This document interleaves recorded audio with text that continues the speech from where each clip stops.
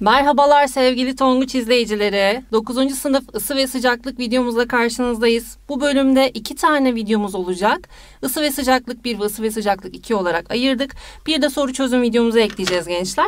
Rahatlıkla anlayabileceğiniz şekilde yavaş yavaş tane tane güzel güzel sinire sinire halledeceğiz. Isı ve sıcaklık konusu ÖSYM'nin çok sevdiği bir konudur. O yüzden her sene muhakkak e, TYT bazında soru geliyor gençler.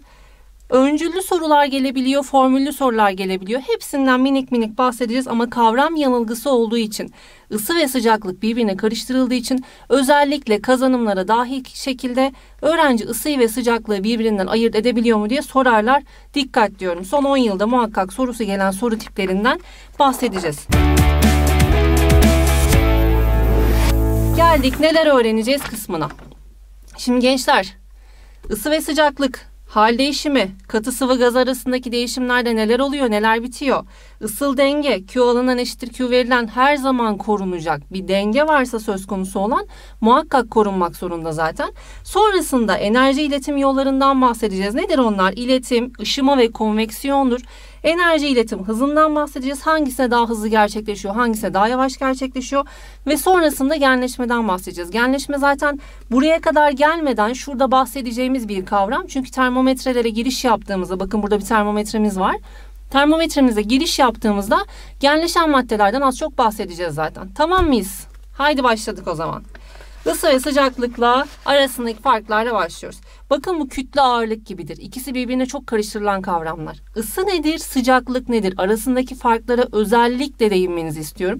Hatta sizden ricam şöyle yazılıya girmeden aynen bu kağıdın böyle bir esas alabilirsiniz gençler. Isı sıcaklık arasındaki farkları muhakkak 3-4 defa yazın.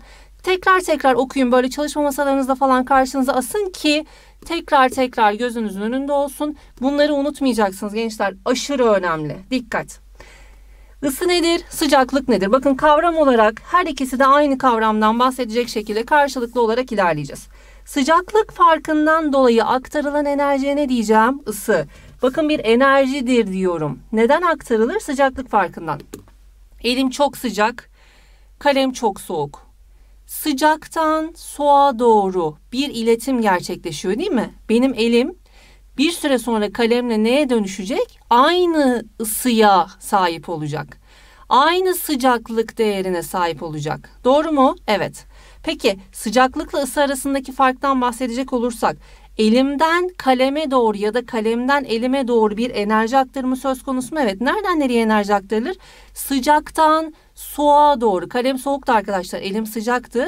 Her zaman sıcaktan soğuğa doğru bir aktarım gerçekleşecek. O halde diyorum aktarılan ısı ama sahip olduğu değer enerjinin ölçüsü dersek sıcaklıktır. Yani elim 36 e, santigrat derece. O zaman neyden bahsettim? Sıcaklıktan. Ama elimden kaleme 500 Joule enerji geçti. O zaman ısıdan bahsediyorum arkadaşlar. Maddenin sahip olduğu kinetik enerjisinin ölçüsüne de sıcaklık olarak ifade edeceğiz. Bakın sıcaklık bir enerji değildir. Dikkat ama ısı bir enerjiydi. Daha sonrasında neyle ölçülür kısmına geliyorum. Isıyı birimlerinden de çıkartabilirsiniz eğer unutursanız. Gençler kalorimetre kabıyla ölçeceğiz. Kalorimetre kabı dediğimiz şey gerçekten böyle kap şeklinde bir e, düzenek. İçerisine hangi maddenin ısısını ölçmek istiyorsak onu yerleştiriyoruz ve kalorimetre kabıyla ısı ölçümü yapabiliyoruz. Sıcaklığı ise termometre ile ölçüyoruz. Termometrelerden en çok aşina olduğunuz bu sıvılı termometre dediğimiz e, içerisinde civa bulunan termometrelerimiz. Artık bunların dijitalleri vesaire çıktı. Onlardan da bahsedeceğiz muhakkak. Kalorimetre kabıyla ölçtük, termometre kabıyla ölçtük. Birimlerine geldim. Birimi ya joule olacak gençler ya da kalori olacak. Ya joule ya da kalori şeklinde ifade edeceğiz. Joule ise J yazalım şöyle. Kalori de cal şeklinde yazıyoruz. Bazen bunu kilokalori falan verebiliyor. O zaman değişik e, dönüşümler yapacağız. 10 üzeri 3 ile genişletmemiz gerekebilecek gibi. Peki bir kalori ile jül arasında ne gibi bir bağlantı vardır derseniz bir kalori 4 nokta yaklaşık olarak 4.18 ama küsuratı ile 486 jül olarak ifade edilebiliyor. SI birim sistemindeki termometrenin birimi ise Kelvin'dir arkadaşlar. Kelvin'de kesinlikle negatif değerler olmaz ve uluslararası formatta evrensel olarak ölçümü yapılabilen birim sistemine uygun kullandığımız sıcaklık birimi Kelvin olarak karşımıza çıkıyor. Yani Celsius almıyoruz. Aman dikkat arkadaşlar. Sıcaklığın birimi Kelvin. Sıcak cisimden soğuk cisime doğru alışverişi olur. Aynen az önce söylediğim gibi elim sıcaktı, kalem soğuktu, sıcaktan soğuğa doğru bir geçiş söz konusu oldu. Alışverişi söz konusu değildir sıcaklığın. Son olarak ısıyı büyük Q harfi ile gösteriyorken sıcaklığı, sıcaklık değişimini ifade ettiğimiz delta T ile göstereceğiz arkadaşlar. Bu delta T dediğimizde T son eksi T ilk olarak karşımıza çıkacak. Haydi bir sonrakine geçelim. Bir sistemi oluşturan atom ve moleküllerin kinetik yani titreşim enerjileri, kinetik deyince ne anlayacaktık? Biz her zaman hareketten bahsettiğimizi ifade edeceğiz. Titreşim enerjileri bir de bunun yanında potansiyel yani durgun kütle enerjisi, bağ enerjilerinin toplamına ne diyeceğiz gençler? İç enerji olarak ifade edilecek. Peki bu iç enerji potansiyelle kinetiğin toplamı bakın mekanik enerjiye benziyor değil mi? Ama ben şu an bir sistemden bahsediyorum. Yani korunaklı bir sistem. İçeriden dışarıya bir herhangi giriş yok. O halde bu atom ve moleküllerin kinetikle potansiyelin toplamını iç enerji olarak ifade edebilirim. Yanlışlarımız var, doğrularımız var. Bakın çok dikkat edin buraya. Kavram yanılgılarınız olduğu için farklı ifadeler kullanabiliyorsunuz. Öncüllü sorularda bunlara dikkat etmezseniz soru kaçırabiliyoruz. Nedir yanlış? Sistemin ısı miktarı. Hmm, bunu söyleyemem. Isı alışverişi olan bir şeydi değil mi? O zaman miktarı ifade edilemez ama sisteme aktarılan enerji dersem o zaman doğru bir ifade olur. Isı için sisteme aktarılan enerji demeliyim, miktar dememeliyim gençler. Miktar yanlış, aktarılan enerji dersem doğru. Cismin içindeki ısı. Hayır içinde bir ısı olmaz. Isı alınıp verilebilen bir şeydi. Enerjiydi bu. İhtiyaç duyduğunuzda ya da bir sistem kontrolünde ısı alınır ya da verilir. Ama cisme verilen ya da alınan ısı dersem o zaman doğru bir ifade kullanmış oluyorum. Cismin içindeki ısı yanlış bir ifadedir gençler. Daha sonrasında maddemizin üç tane hali vardı. Katı sıvı gaz olmak üzere. Katıdan sıvıya geçme olayımız erime, sıvıdan gaza geçme olayımız da buharlaşmaydı arkadaşlar. Ama bu kaynama düzeyindeki buharlaşmadan bahsediyorum. Çünkü buharlaşma dediğiniz her durumda olabilen, her sıcaklıkta gerçekleşebilen bir durum. Hal değişiminden bahsediyorsa kaynamadan bahsediyordur arkadaşlar. Katıdan sıvıya geçerken maddemiz ne yapar? Tabii ki de dışarıdan ısı alır. Sıvıdan gaza geçerken de aynı şekilde dışarıdan bir ısı alımı söz konusudur. Peki ısı alan madde artık tanecikleri çok daha hızlı hareket etmeyecek mi? O zaman kinetik enerji ne yapıyor? Titreşim arttığı için kinetik enerji mutlaka bir artış gösterecektir gençler. Isı alan maddenin taneciklerinin ortalama kinetik enerjisi tabii ki de artar arkadaşlar. EK artacaktır eğer madde ısı alıyorsa kesinlikle unutmuyoruz. Geldik termometrelere. Bakın 3 farklı termometre cinsinden bahsedeceğim size. Termometreleri sıvılı termometre, metal termometre ve gazlı termometre olarak ayıracağız. Bunların kullanım alanları ve kullanım şekilleri birbirinden farklı olduğu için bu şekilde böyle bir sınıflandırma yapılmış. Peki termometreler ne ölçümünde kullanılır derseniz maddenin var olan enerji demiyorum bakın dikkat ısıyla sıcaklık arasındaki farkları karıştırmıyorduk.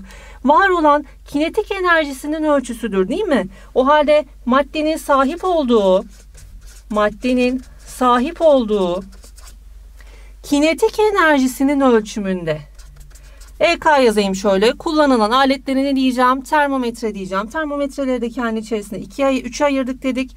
Sıvılı termometreler aslında bunlar tanıdığınız termometre tipi. Hemen şöyle bir çizmeye çalışayım. Altında şöyle geniş bir haznesi var arkadaşlar. Bir boru var içerisinde. Daha sonrasında bu borunun şöyle bir iç haznesi tekrardan var. Ve içinde civa ile dolu bir madde. Peki civa ile dolu olmasının özel bir sebebi olmalı değil mi? Civa kullanmış, alkol kullanmış, su kullanmış bunu keşfeden insanlar. En son civada karar vermişler. Bunun temel sebebi ile ise civanın HG ile gösteriyorduk hatırlayın arkadaşlar. Civanın genleşmesidir. Yani civanın genleşmesi diğer maddelerden daha büyük olduğu için sıvılı termometrelerde civa kullanıyoruz. Hemen yazıyorum. Genleşme büyüktür arkadaşlar. Peki civayı hatırlayın periyodik cetvelden. Metal maddeler arasında Oda sıcaklığında sıvı olan tek metalimiz civaydı. O halde ben bunu termometrede kullanırsam 13.6'lık bir yoğunluğa da sahip, genleşmesi de büyük, çok rahat bir şekilde termometremi çatlamadan, kırılmadan pek çok uygun ortam altında ölçüm yapabilecek şekilde kullanabilirim. O halde sıvılı termometre deyince aklımıza bu civalı termometre gelecek. Bir de bunların artık dijitalleri çıktı. Kulaktan ölçüm yapabilenler. Özellikle bebeklerde çok kullanıyorlar arkadaşlar. Bunlar da sıvılı termometreleri örnektir. Özellikle soru gelirse genleşmesi büyük olduğu için sıvılı termometrelerde civa kullanılır. Bunu unutmuyoruz. Geldim metal termometreye. Bakın metal termometrelerde hassasiyete bakılır. Hassas değildir arkadaşlar bunlar. Yaklaşık olarak 300 santigrat dereceye kadar ölçüm yapılabilen böyle fırınlarda falan kullanılır. Hemen yazalım üzerine. Fırınlarda kullanılıyor. Hassas değildir gençler tekrar söylüyorum. Hassas olmadığı için kırılma, çatlama gibi bir durum söz konusu değildir. Yani yüksek sıcaklıklarda da ölçüm yapacaksam eğer metal termometreleri tercih edebiliyorum. Peki geldim gazlı termometrelere. Gazlı termometreler de aynı şekilde laboratuvarlarda kullanılan ve hassasiyeti olan laboratuvar kullanım alanı. Peki hassasiyetimiz önemliydi değil mi? Laboratuvarda ölçüm yapıyorsanız eğer ciddi bir hassasiyet gerekiyordur. Daha böyle milimetrik hesaplarla işlemeniz gerekiyordur durumu. O zaman hassastır diyorum. Hatta yüksek hassasiyete sahiptir. Gazlı termometreleri laboratuvarlarda kullanıyoruz. Burada bahsetmediğimiz milli eğitimin geçmiş yıllarda kazanımlarına dahil ettiği ama şu anda olmayan bir termometre çeşidimiz daha var arkadaşlar. Minicik bahsedeceğim. Onlar da lazerli termometreler. Termometre. Bunlar dijitaldir gençler. Böyle gerçekten ucundan bir lazer ışın ışını çıkıyor ve lazerler farkındaysanız farklı renklerde oldukları zaman daha uzun alanlara yayılabiliyorlar. Burada temas olmadan, temas gerektirmeden herhangi bir ölçüm yapmam gerekiyorsa temassız ölçümü lazerli te- termometrelerde yapabiliyorum. Temas gerektirmez dedim. Şöyle bir aklınızın kenarında bulunsun. Ama dediğim gibi sınavlarda soru gelecektir. Kazanım dahilinde bu üç termometreden gelecektir.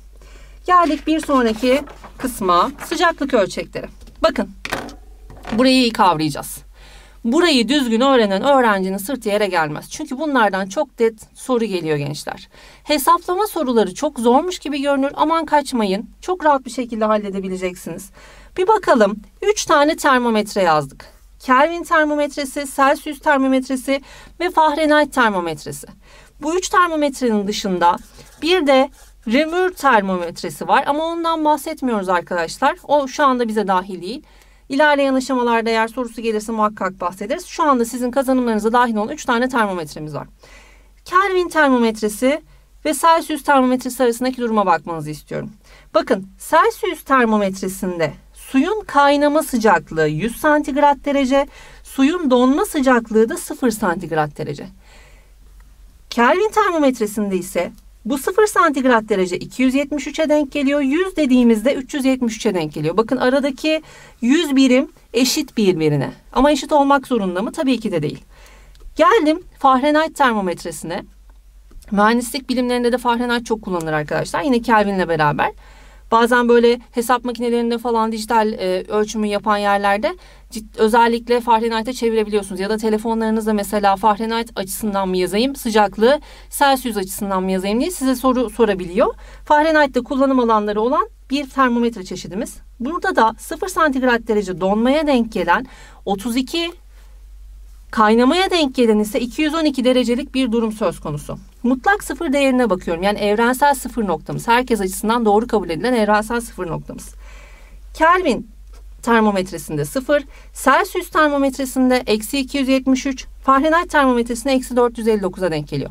Bunun temel sebebi Kelvin arkadaşlar. Hatırlar mısınız? Bir önceki sayfada demiştim ki Kelvin termometresinde kesinlikle negatif değer olmayacak. Negatif değer olmadığı için diğerlerinde 273 birim ilerlediğinizde negatif değerlere denk gelecek sayı birimleri ortaya çıkabiliyor. Peki ben bunları nasıl hesaplayacağım kısmına geliyorum. Celsius bölü 100. Neden? Arada 100 birimlik bir bölmem var. Fahrenheit için F eksi 32. Bakın bu Fahrenheit'te denk gelecek olan değer eksi 32 bölü 180. Çünkü arada 180 birimlik bir değerim var. Geldim Kelvin'e. Kelvin eksi 273 bölü 100. Yine arada 100 birimlik bir bölmem vardı. Şurada görmüş olduğunuz 32 ve 273 zaten donma noktaları değil mi arkadaşlar? Yani şurada da yazmadığımız bir sıfır söz konusu. C eksi 0, F eksi 32, K eksi 273 yazdık. Aradaki bölme sayılarını yazdık. Ve son olarak diyorum ki bu şuna eşittir. Herhangi bir x değeri. Bulmak istediğimiz değer neyse bulmak istenilen değeri size soruda soracak gençler. Birazdan sorusuna daha iyi anlayacaksınız. Bu nedir? Donma sıcaklığımdır. Bu da yine aynı şekilde donma sıcaklığı. Bu da kaynama sıcaklığımız gençler. Kaynama sıcaklığından donma sıcaklığını çıkartıyorsunuz. Bulmak istenilen değerlerle dolma sıcaklığını çıkartıyorsunuz. Bu değerleri bu değerleri oranladığınızda hangi termometreyi kullanırsan oradan x'i bulabiliyorsun. Diyelim ki ben Celsius'a göre işlem yapacağım. Celsius ve verilen x değeri arasında bir ifade bulacağım. O zaman şunları kapatıyorum arkadaşlar.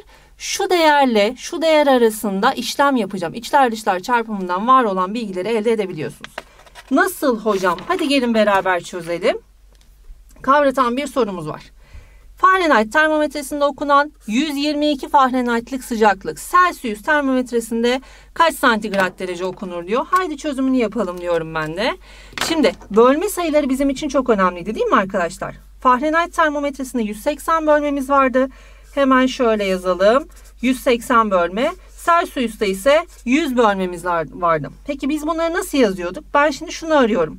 Fahrenheit'te şu aralıkta bir yerde 122 Fahrenheit'lik bir derecem var. Hop buna karşılık gelen hangi değer bunu arıyorum arkadaşlar. Bunu bulmak için de ikisi arasında bir içler dışlar çarpımı yani az önce verdiğim formülü kullanacağım. O halde diyorum ki c eksi sıfırdı normalde hatırlayın sıfırını yazmıyorum. c bölü 100 bölme sayısı eşit olmalı f eksi 32 bu 32'yi çıkartıyorduk donma noktasını hatırlayın. Kaç bölmen vardı? 180. Bu iki denklemi birbiri arasında çözerseniz eğer c'nin kaça denk geldiğini çok net bir şekilde bulabilirsiniz. c bölü 100 eşittir diyorum. Fahrenheit'i bana vermişti değil mi? 122'ye denk gelen diye söylemişti. 120 eksi, eksi 32 bölü 180'dir. Hadi yapalım. C bölü 100 eşittir. 90 bölü 180 zaten size böyle tatlış değerler gelecek soruları çözerken de rahat olun. Şu sıfırlardan bir kurtulalım arkadaşlar. Böldüm 2 kaldı. C buradan 50 santigrat derece olarak elde edilir. Yani benim 122'ye denk gelen santigrat ölçümüm 50 santigrat derece olarak yazılabilirmiş. Yani tam şunun orta noktasını aldığınızda burada da 122'ye denk geliyormuş arkadaşlar. Sorular aynen bu şekilde geliyor. Isı alan maddeye bakacağım şimdi. Isı alan madde nasıl bir değişim geçirir? Ya sıcaklığı artacak ya da hal değiştirecek. Burası çok önemli. Dışarıdan ısı aldı madde. Sıcaklığı artıyorsa Kel-Macit formülünü kullanacağım. Hal değiştiriyorsa Kamile formülünü kullanacağım. Bu Kel-Macit ile Kamile'nin e, ortak özellikleri var arkadaşlar. Neleri ortak derseniz Q'ları ortak, M'leri ortak ama diğer kalan ifadeler birbiriyle aynı değil. Nedir bunlar bir yazalım.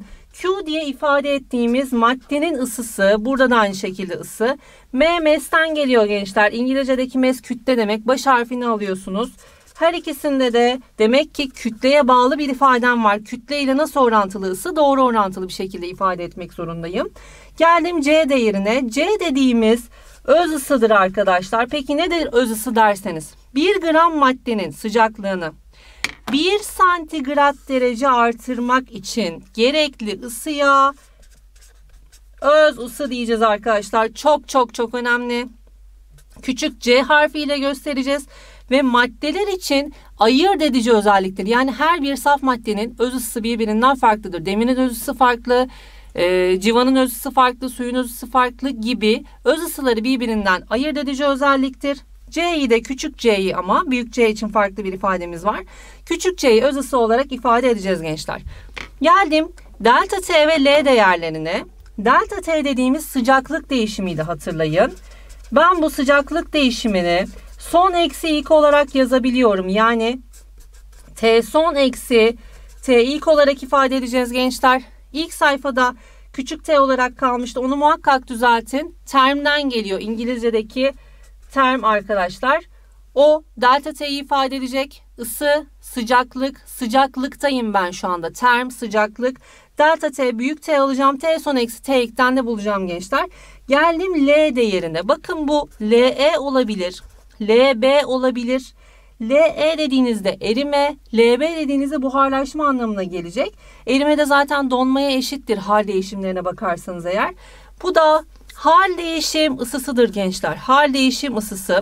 Soru size bunların değerlerini veriyor gençler. Rahatlıkla yerine yazıp yapabiliyorsunuz. LE dediğimiz erime ısısı. LB dediğimizde buharlaşma ısısı olarak karşımıza çıkacak. LE ve LB. O halde var olan formüllerimi nerede kullanacağım onu öğrenirsem hiçbir şekilde problem yaşamayacağım. Geldim bir ifadem daha var. Büyük C eşittir M çarpı küçük c. Küçük c zaten neydi gençler? Öz ısıydı. O halde öz ısıyla, maddenin öz ısıyla var olan kütlesini çarparsam eğer bu çarpım bana var olan ısı sahasını verecektir. Maddenin sıcaklığını 1 santigrat derece değiştirmek için gerekli ısı miktarına ısı sahası, diğer bir adıyla da ısı kapasitesi diyoruz arkadaşlar buna. Isı sahası daha çok kullanılan bir ifade. Isı kapasitesinde muhakkak bilin. Büyük C ile ifade ediyorsam ısı kapasitesi, küçük C ile ifade ediyorsam öz ısı. Bakın bunun arasında şöyle bir kavram var. Öz ısı ayırt edici iken ısı kapasitesi asla ayırt edici değildir. Çünkü ne kadar maddenin kütlesini verdiğini biliyor muyuz biz? Hayır 50 gram almıştır. 100 gram almıştır. E buna bağlı olarak farklı değerler çıkmıştır gibi. Isı kapasitesi ayırt edici değildir ama öz ısı her madde için farklı bir değer olacaktır. Bunu şöyle ifade edelim sizinle. Bir sıcaklık ısı grafiğimiz var. Sıcaklık ısı grafiğinde grafiğin ne olduğunu öncelikle dikkat edin. Soruyu karşı karşı karşı karşıya kaldığınızda ben ne grafiğine bakıyorum. Bakın buraya her zaman zaman yazmaz, her zaman ısı yazmaz. Bunlar değişkendir. O halde grafiğin alt ve üst ekseninde ne olduğunu ifade edeceğim. Sıcaklık ısı grafiğinde verilen değerleri yerine yazdığınızda ısı sahası yani ısı kapasitesi bizim bulduğumuz ifade olacak. Neden? T1, T2 sıcaklık değerlerim. Delta T dediğimde sıcaklık değişimi. Q dediğimizde ısı. Arkadaşlar eğer sıcaklık ısı grafiğiniz varsa var olan grafiğin eğimi, eğim neydi arkadaşlar? Tanjant alfaydı değil mi? Karşı bölü komşudan buluyorduk. Karşıda kim var? Delta T var. Komşuda kim var? Q var. Şurası Q kadar çünkü. Delta T bölü Q'yu yazdığınızda 1 bölü mc değerine denk gelecektir. Bu da 1 bölü büyük C'dir. Yani eğim size ısı sahasının tam tersini verir. Isı sahasının tersini verir. Yani 1 bölü büyük C yalnız çok dikkat. Küçük C'den bahsetmiyorum. Bu grafikle çalışıyorsam, sıcaklık ısı grafiğine çalışıyorsam eğim eşittir diyorum. Tanjant alfa o da 1 bölü büyük C olarak karşınıza çıkacaktır. Aman dikkat çok rahat bir şekilde çözülebiliyor bunları sorular. O yüzden lütfen dikkatli olun. Geldik bir tane sorumuz var burada. Isı sahası verilmiş, madde miktarı verilmiş. Bu iki madde arasında bana öncüller var. Isı sahası madde grafiğinde hangileri doğrudur diye ifade ediyor. Öncelikle soruya dalmadan lütfen şu yorumlarınızı yapın. Şununla ilgili. Kahveleyen maddesi var. Ben bunlar hakkında ne düşüneceğim? Önce bir ona bakmam lazım. Şimdi K maddesinin ısı sahası aynı noktayı seçerseniz eğer şöyle bir denk gelelim. Hatta L noktası içinde şöyle alalım. K'nın ısı sahası L'nin ısı sahasından daha büyük arkadaşlar. O zaman büyük CK büyük CL yazdığımda arada büyük dil işaretini koyabiliyorum. Bu birinci yorumum. Sonra madde miktarına bakıyorum. Büyük C dediğiniz şey neydi? Kütle ile küçük C yani öz ısının çarpımıydı. Kütle miktarıyla maddenin öz ısısını çarpacağım ama maddenin öz ısısı hiçbir zaman değişmeyecek. Çünkü K maddesinin öz ısısı hep sabit. L'nin de öz ısısı hep sabit olacak. Kütleleri değişkendir. Kimin kütlesi daha fazla? Madde miktarına baktığınızda L'nin madde miktarı K'nın madde miktarından daha fazla olduğunu görüyorum. O halde ben bunu L için yazarsam M değeri daha yüksek olacak. K için yazarsam M değeri daha düşük olacak. Ha, buna göre de bakmam lazım. Çünkü bana şu çarpım burayı veriyordu. M'i yüksek olanın C'si nasıl olacak? Bu yorumu yapacağım. Çünkü CK'nın CL'den büyük olduğunu biliyorum. Geldim buraya. K maddesinin öz ısısı L'ninkinden büyüktür. Bakın C demiyor bana öz ısı diyor. Öz ısı değerlerini değerlendirirken CK ve küçük CL yazıyorum. Hangisinin daha büyük olduğuna bakacağım. Şimdi K'nın ısı sahası daha mı büyüktü? Kütle değerlerine baktığınız zaman kütlesi biraz daha az ama ısı sahası çok büyük. Isı sahasının büyük çıkmasının sebebi kütlesi az olmasına rağmen bakın M'i küçük olmasına rağmen demek ki C'si çok büyükmüş ki büyük C değeri diğerinden daha büyük gelmiş. O zaman diyorum ki CK kesinlikle CL'den daha büyük olmak zorunda. Birinci öncülümü aldım. KVR maddelerinden yapılmış eşit kütleli iki cismin sıcaklığını eşit miktarda artırmak için eşit miktarda ısı gereklidir. Bakın bana burada öz ısının kavramını yapıyor. Bana diyor ki şurada eğer öncülü düzgün bir şekilde değerlendirirseniz öz ısıları birbirine eşittir diyor. Hayır diyorum bunlar farklı maddeler. O zaman bu öncülü kesinlikle alamam. Geldim bir sonraki ifademe KVL maddelerinden yapılmış iki cismin ısı sahaları eşit ise L maddesinden yapılan cismin kütlesi daha büyüktür. Bakın bunu doğru alabilirim. Bunların ısı sahalarını eşit alırsanız eğer L'nin madde miktarı yani kütlesi çok daha büyük çıkacaktır. O halde cevabım 1 ve 3 olacak şekilde çözümümü yapıyorum. Geldim bir dikkat daha. Bakın maddelerimiz bize verilmiş. Öz ısı değerleri, kütle değerleri, ısı sahası değerleri. Haydi öz ısıları ile kütlelerini çarpıp şu ısı değerlerini bulalım. Isı sahası değerlerini bulalım. Çünkü benim ısı sahası dediğim şey M çarpı küçük c'ydi. Tekrar yazıyorum. Isı sahasıydı bunun adı. Diğer adıyla ısı kapasitesiydi. M dediğimiz kütle gençler var olan kütleyi maddenin öz ısısı ile çarptığınız zaman ısı sahasını elde edebiliyorsunuz. Peki gümüş için verilen 0.06 ile kütlesi 20. Her ikisinin çarpımını alırsanız Isı sahası 1.2 kalori bölü gram e, kalori bölü santigrat derece gelecektir. Suya bakıyorum arkadaşlar. 1 ile 10'u çarpıyorum. 10 gelecektir. Şuradaki sıfırların tabii ki de hiçbir anlamı kalmıyor. Peki buza bakıyorum. Ha çok ilginç değil mi? Su ve buz aynı maddelermiş gibi olmasına rağmen öz ısıları birbirinden farklı. Bakın bu buzun hacmi de farklıydı. Yoğunlukları da farklıydı. Bu yoğunluğu 0.9 iken bunun yoğunluğu 1 gram bölü santimetre küptü. Bunun sebebi de buzun hacminin e, genleşmeden dolayı artmasıydı değil mi? Burada da aynı şekilde öz ısıları birbirinden farklı. Demek ki bunlar farklı maddelerdir diyebiliyorum. Isı sahasına baktım. 5 olarak karşımıza çıktı. 0.12 ile de onu çarpıyorum arkadaşlar. 1.2. Bakın burada dikkat kesilmeniz gereken nokta şu. Her ikisi de 1.2 çıktı. E peki gümüş ve çelik aynı maddeler mi? Hayır.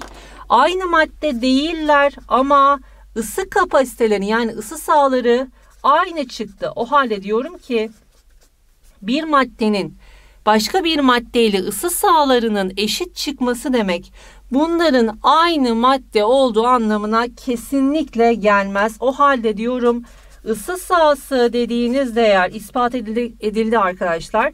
İspatımıza göre kesinlikle ayırt edici değildir diyorum. Isı sahası ayırt edici bir özellik değildir. Bakın birinden 10 gram aldım pardon birinden 10 gram aldım. Birinden 20 gram aldım.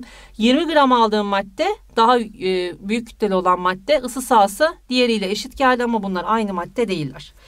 Bir dikkat daha şuraya. Q eşittir mc delta t formülünde.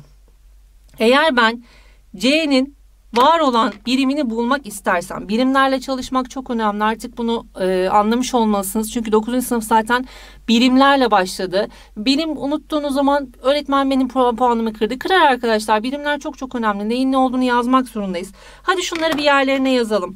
Q dediğimiz değer neydi? Isıydı gençler alınan verilen ısı mesela özdeş ısıtıcılarla ısıtılan kaplar derse eğer bunların Q'ları eşit anlamına geliyor.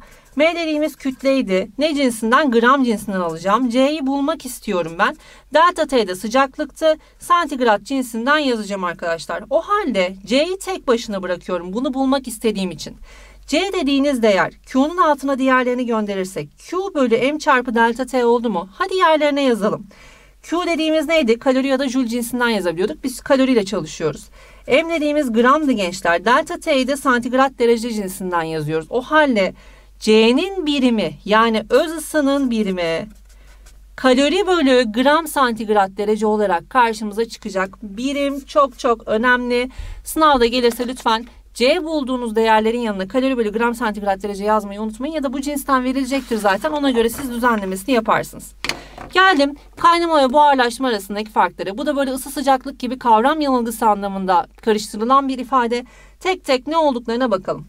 Kaynama dediğiniz belirli bir sıcaklıkta gerçekleşirken buharlaşma tüm sıcaklık değerlerinde gerçekleşir. Suyun kaynama noktası neydi arkadaşlar? 100 santigrat derecede ama su her sıcaklıkta buharlaşır. Ben buraya bir bardak su koysam sabaha kadar bekleyeyim bir miktar suyun azaldığını görebilirim. Bunun sebebi ne? Buharlaşma. Çünkü her sıcaklıkta buharlaşacak. Sıvının tamamında yani her yerinde fokur fokurdur değil mi arkadaşlar kaynayan bir madde. O halde her yerinde gerçekleşiyor kaynama ama buharlaşmaya baktığımda yalnızca sıvının yüzeyine gerçekleşiyor. Bunun sebebi sıvı içeride bir sıvı olduğunu düşünelim şöyle. Suyumuz olsun hatta. Sıvı yüzeyini etki eden açık hava basıncıdır arkadaşlar. Açık hava basıncı yüzeyden etki ettiği için sadece yüzeyde buharlaşma gerçekleşir ama sen alttan verdiğin coşkuya enerjiyi e, kaynamaya başladı madde. Kaynadığı zaman her yerinde gerçekleşir diyoruz. Kaynama sıcaklığı sabit kaldığı bir olayken buharlaşma genellikle sıcaklığın düştüğü bir olaydır. Bu sıcaklığın sabit kalması olayı bizim için önemli. Çünkü burada bir hal değişimi söz konusu. Hal değişimi maddenin sıcaklığının asla değişmediği, sabit kaldığı noktalardır. Böyle grafikte dümdüz olarak çizdiğimiz noktalar. Ama genellikle sıcaklığın düştüğü derse buharlaşmayı alacağım. Geldim dışarıdan alınan bir enerjiye ihtiyaç vardır. Yani sen buna dışarıdan bir ısı enerjisi vermelisin ki madde kaynayabilsin. Burada ortamdaki ısı enerjisiyle gerçekleşebilir arkadaşlar. Senin dışarıdan bir şey yapmana gerek yok. Var olan içerideki sıcaklık kinetik enerjileriyle beraber onun buharlaşmasına sebep olacaktır. Kaynama hızlı ve gürültülü bir işlemken Buharlaşma yavaş ve sessiz bir işlemdir diyoruz. Lütfen bunları da aynen ısı sıcaklık farklarında olduğu gibi birkaç kere yazıp tekrar edin. Çok rahat bir şekilde oturacaktır. Isı sıcaklık, kaynama, buharlaşma ikisi arasındaki farklar önemli. Geldim hal değişimine. Maddenin üç tane halinden bahsediyoruz. Katı, sıvı, gaz. Bir de plazma var. Maddenin dördüncü hali olarak kabul edilen. Aslında bizim birçok müfredata dahil etmediğimiz ama varlığı tam olarak ispatlanamadığı için de e, var yok arasında aldığımız bir değer. Peki ne yapacağım bunlarla ilgili derseniz. Katıdan sıvıya geçişimiz neydi arkadaşlar? Olayın adı erimeydi.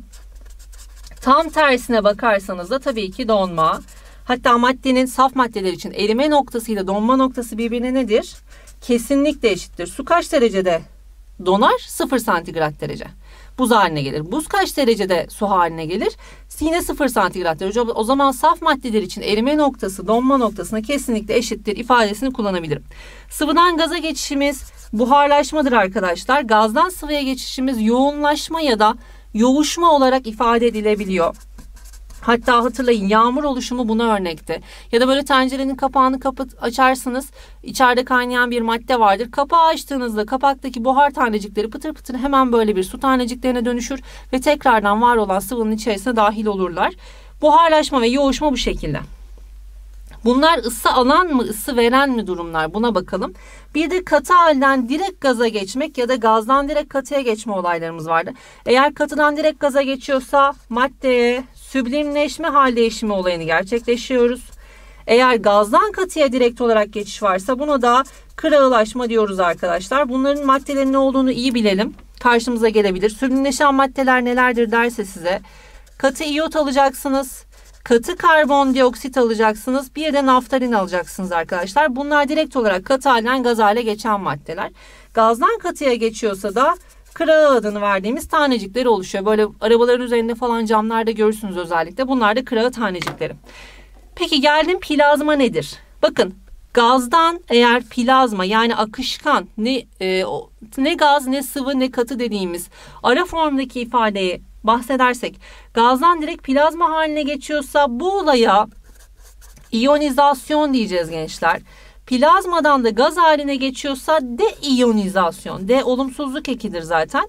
Deiyonizasyon diyeceğiz. Şuradaki de olayın tersine gerçekleştiğini ifade ediyor. Buradan çok soru gelmeyecektir. Takılmayın. Ama şu bizim için çok çok önemli. Bir de hangileri ısı alır, hangileri ısı verir onları yazalım. Katıdan sıvıya geçişte madde ısı alır arkadaşlar. Yine yukarıdayım. Sıvıdan gaza geçiyorum. Isı alır. Süblimleşme yine aynı şekilde ısı alır. Yani okların yönleri eğer bu şekildeyse ve maddelerin katı sıvı gaz şeklinde sıralanıyorsa yukarıdakilerin tamamı ısı alan olaylar, aşağıdakilerin tamamı da ısı veren olaylar olacaktır. Isı verir diye ifade ettim. Bunlar önemli çünkü ortam sıcaklığını size sorduğu zaman nereden nereye ısı geçişi olduğunu önemsemek durumundasınız. Bir sorumuz var gençler. Haydi buraya bakalım. Kesilen karpuzun güneş ışığı altında daha çabuk soğumasının sebebi buharlaşan sıvı ortamın sıvı sıvının buharlaşan sıvının ortamdan ısı almasıdır. Yani burada bir buharlaşma mı söz konusu? Evet. Bana diyor ki buna göre hangi olay aynı prensip ile açıklanabilir? Güneşli havalarda bu, bu olayımız neydi bu arada? Buna bir karar verelim. Ben buharlaşma ile ilgili prensiple ilgili açık, e, açıklanan olayı arıyorum. Peki buharlaşma ısı alan bir olay mıydı? Aynen öyleydi. Isı alan bir olay arıyorum. Peki güneşli havalarda buzlar erirken havanın soğuması. E, ısı alan bir olaydır. E, erimeden bahsediyor. Isı alır dedim gençler. O halde hemen yanına erime diye yazdım. O halde bunu kesinlikle alabiliyorum. Çünkü aynı prensiple açıklanabiliyor. Ateşi yükselen kişinin alnına nemli bez konması. E, nemli bez koyduğun zaman kişide bir ferahlama, bir sıcaktan uzaklaşma hali söz konusudur. Yani yine buharlaşma dediğimiz olay var gençler. Yine ısı alan bir olay. Yani aynı prensiple çalışıyor. Aynı prensip derken bana ısı alıyor mu ısı veriyor mu bundan bahsediyor aslında. O zaman ikiyi de dahil edeceğim. Yüksek dağlardaki kar ve buzun geçerimesi. Bakın bu ısı alan ya da ısı veren bir hal değişimi olayı değil aslında. Erime gibi bahsediyor ama buzun geç erimesinin sebebi basınçta arkadaşlar. Orada basınç çok daha düşük olduğu için buzlar normalden daha geç erirler. Buzun geç erimesi hal değişimine dahil ettiğimiz bir durum olmadığı için aynı prensiple e, ifade edemiyorum. Bakın buzun erimesi yine hal değişimi sıkıntı yok. Ama buzun geç erimesi bununla ilgili bir olayla bağlantı kurulabilir mi? Hayır. Bunu almadığım için cevabım 1 ve 2 oluyor. C seçeneğini işaretledim. Hal değişim grafiğine geldim. Burası aşırı önemli. Buradan çok net soru geliyor gençler. Nerede, ne yapıyorum çok dikkat edin. Şimdi sıcaklık ısı grafiğim var. Bu önemli benim için. Zamanla ısısı artmış maddenin ve zamanla sıcaklığı da artmış. Demek ki bu bir ısınma eğrisi yani ısınma grafiği. Eğer yukarıdan başlayıp aşağıya doğru inen bir grafik olsaydı o zaman da soğuma eğrisi diyecektim. Peki ben hal değiştirirken katıdan sıvıya, sıvıdan gaza mı geçebiliyordum ısınmada? Evet. O halde bir madde iki defa hal değiştirebilir diyebilir miyim? Aynen öyle. Başlangıçta maddem T1 sıcaklığındayken T2 sıcaklığına kadar yükseltmişim. T2 sıcaklığında ısısı artmasına rağmen bakın neyimiz sabit kalmış? Sıcaklık. Sıcaklık sabitse eğer az önce yazmıştık bunu. Madde kesinlikle hal değiştiriyordur. O zaman maddenin hal değişim noktaları şu düz çizgiyle ifade edilen yerler olacak gençler. Düz olarak çizdiğimiz noktalar hal değişimleridir diyeceğiz. Madde bu noktalarda hal değiştiriyorduk. Nereden anladık? Sıcaklığın sabit olmasından anladık. Hal değiştirir dedik. Peki TK kadar çıktık. Birinci hal değişimim söz konusu, ikinci hal değişimim söz konusu. Demek ki madde başlangıçta neymiş iki kere hal değiştirdiğine göre? Başlangıçta katı maddeymiş. O halde hemen yazdım. Katı madde yeterince ısıyı verdim. Isındı, ısındı, ısındı. Bir süre sonra ne oldu? Sıcaklığı sabit kaldı ve hal değiştirmeye başladı. O halde burada katı artı sıvı formdadır. Yani ikili formda arkadaşlar. Bunlara çok dikkat edin. Q2'den Q3'e doğru çıkıyorum. Artık ne oldu? Tamamen sıvıya dönüştü. Yine T3 sıcaklığım sabit kaldığı için sıvı artı gaz formundayım ve hal değiştiriyorum. Ve son olarak da gaza dönüştüm arkadaşlar. Size şunu sorabilir. Mesela maddenin e, katı halden sıvı hale geçmesi için gerekli ısı miktarı nedir derse Q2 eksi Q1 kadarlık bir enerji veriyorsunuz. Maddenin tamamının gaz olması için gerekli enerjiyi sorarsa o zaman Q4'e kadar aldığınızda madde gaz haline geçmiştir. Q5'e kadar ısıtmışım madde T4 sıcaklığında gaz haline dönüşmüştür diyebilirim. Yani ben bu grafikten istemediğiniz kadar öncüllü soru, işte işlemli soru vesaire size sorabilirim. Peki işlemli sorular nasıl gelecek derseniz. Şu yukarıya çıktığımız rampalarda bir formül kullanacağız. Kel macit vardı hatırlayın. Q eşittir mc delta t. Bir de neyimiz vardı? Q eşittir m çarpı L'miz vardı. Bu L erime olabiliyordu. L buharlaşma olabiliyordu. Ben şu anda erime sıcaklığından bahsedeyim. Ve daha, daha sonrasında LB'ye de dönüşecek. Q eşittir m çarpı LB. Çünkü şurada eriyorum, şurada buharlaşıyorum. Her ikisini de kullanacağım demektir. Şimdi maddenin delta T'sine ihtiyacınız varsa delta T sıcaklık değişimiydi. Hop karşısına geldim T2, T1. Ha şu aralıkta bir sıcaklık değişimim var. Ama ben şurayı alırsam sıcaklık değişimim yok. Burada bu formülü kullanamam. O halde diyorum ki rampaları çıkıyorsan eğer kel maciti kullanacaksın.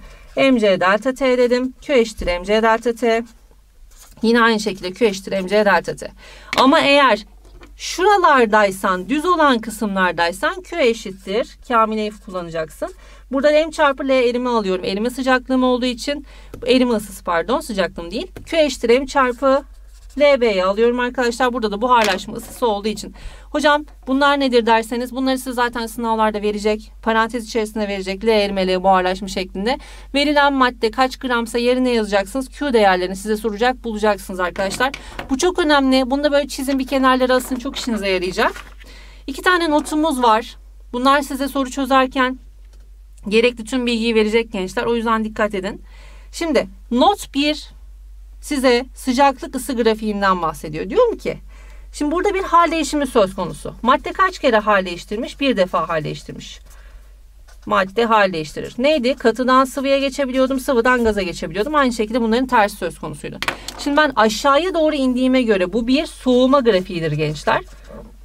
Soğuma grafiğinde katıdan sıvıya değil, sıvıdan katıya ya da gazdan sıvıya geçiyorumdur. O halde ya nokta ya nokta olabilir benim için. Şunlardan biriyim ama bir kere hal değiştirdiğine göre ben hangisi olduğunu bilemem.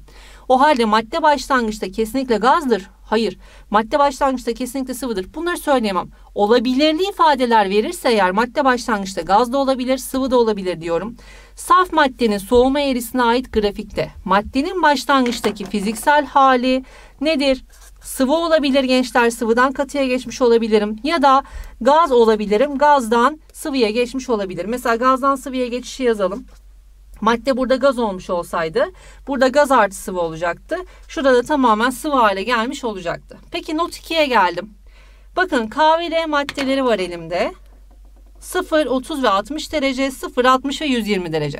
Sanki böyle birbirinin iki katıymış gibi görünen değerler değil mi? Bu iki katı gibi görünmesine rağmen K ve L maddeleri aynı maddeler değildir arkadaşlar. Burada sıcaklık değeri iki katına çıktı. Burada sıcaklık değeri iki katına çıktı. İşte burada 2000'den 3000'e çıktım. Burada da iki katına e, çıktı şeklinde 2000'den 3000'e binlik artış oldu. Burada da diyelim ki binlik artış verdi size. E, bu maddenin hal değişimi için de gerekli ısı aynı. Bu maddenin hal değişimi için de gerekli ısı aynı diye bunların aynı madde olduğu sonucuna kesin olarak varamazsınız. Olabilirli sorularda düşünülebilir. Ama kesinlikle diyorsa soruda eğer bunları aynı madde almıyorsunuz aman dikkat.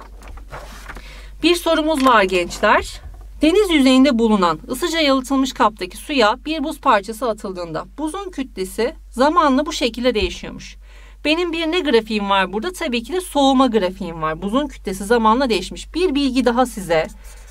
Kütle ve sıcaklık arkadaşlar ters orantılı kavramlardır. Yani kütle artarken sıcaklık azalacak. Sıcaklık artarken kütle artacak. Ona, ona göre soruyu çözmem gerekiyor benim. Şimdi buna göre hangileri doğrudur diyor. 0T1 aralığına bakıyorum. Zaman verdiği için bunları tabii küçük T almamız lazım gençler. Büyük T'de sıcaklık olacak. T1 aralığında buzun sıcaklığı 0 santigrat derece altında suyunki 0 santigrat derece üstündedir diyor. Şimdi buzun kütlesi burada ne olmuş? Azalmış. E kütle azalıyorsa sıcaklık nedir? Kesinlikle artmıştır gençler. Bu aralıkta buzun sıcaklığı şu aralıktayım ben. Kütle sabit kaldığına göre sıcaklığım da sabit. 0 santigrat derecenin altında suyun 0 santigrat derecenin üstünde. Yani bir hal değişimi mi söz konusu? Hem buz hem su vardır diyor. Aynen öyle diyorum. Birinciyi aldım. T1 T2 aralığına geldim. Buzun sıcaklığı 0 santigrat derece, suyun sıcaklığı 0 santigrat derecenin üstündedir. E, hal değişimim bitti artık. Sıcaklığım artıyor. Tamamen suya dönüştüm evet. E, buzun sıcaklığı 0 santigrat derece oldu. E, suyunki de sıfırın yukarısına çıktı. O zaman kesinlikle doğrudur alabilirim. T2 T3 aralığına geldim. Yine maddenin sıcaklığı ne oldu? Sabit kaldı. Neden? Buzun kütlesi değişmediği için. T2 T3 aralığında buzun ve suyun sıcaklığı 0 santigrat derecedir dedim. Her ikisi de sabit olduğu için bunu da alabiliyoruz gençler. O halde cevabınız E seçeneği olacaktır. Bir ödüllü soruyla karşınızdayız. Cevaplarınızı aşağıya bekliyorum. Kendinize çok çok iyi bakın. Geri kalan konu için ısı sıcaklık 2 videosunu bekleyin. Daha sonrasında soru çözümleri de yapacağız. Görüşmek üzere gençler. Hoşçakalın.